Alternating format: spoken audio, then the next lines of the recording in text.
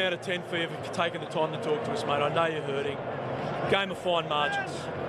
Where, where did you sort of see the inches lost? Um, like it probably is summed up really like La Rochelle there at the end, you know, obviously to get over for that score. Like we had lots of opportunities where we're bashing away with the line and we, you know, we're just a little bit off in terms of some of the execution.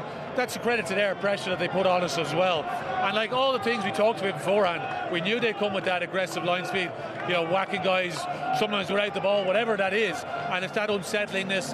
But again, you're away in France, big pressure game, um, and we probably just didn't quite hit our best. And that's the frustrating thing. That that'll be the thing that really sort of stings our guys.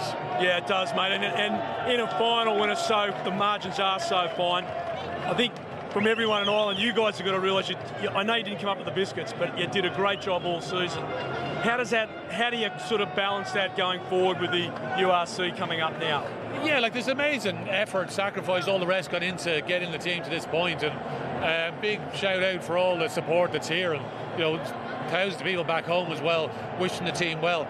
But like it's it's back on the horse, really, isn't it? Like yeah. we're we've Glasgow now, quarter final URC, and it's as painful as it is for our guys. We've just got to learn what we can from the game and get back to getting ready to play another game and you know that's the beauty of the competition in many ways. Uh, but it's yeah, it's going to take a huge effort. But like you can see how much the players are hurting, the guys that are on the field. But then there's a whole host of guys that are in the standing as well that aren't getting picked today, and you, know, you can see how much it means to them.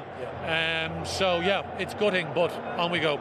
Leo, you've done a great job despite today's form, and mate, keep your chin up. We're all really proud of you, mate. Yeah. Thanks for talking to thanks, us. Thanks, mate. Yeah. All right. Thanks. See you, buddy. All right.